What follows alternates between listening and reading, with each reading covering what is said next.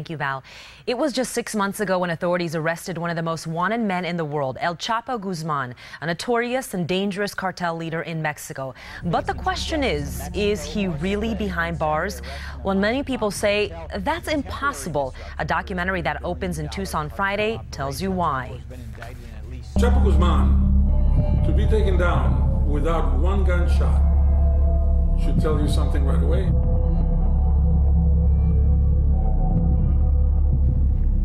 You think that's Chapo Guzman who they have in custody right now?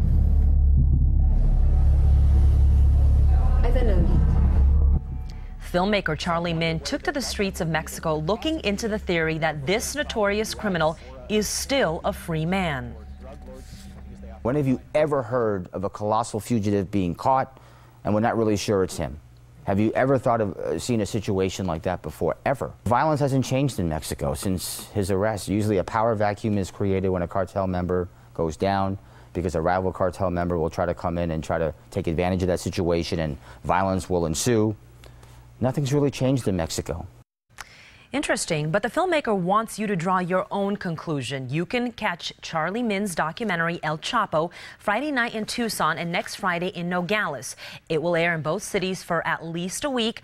And for more information, head to our website, kgun9.com.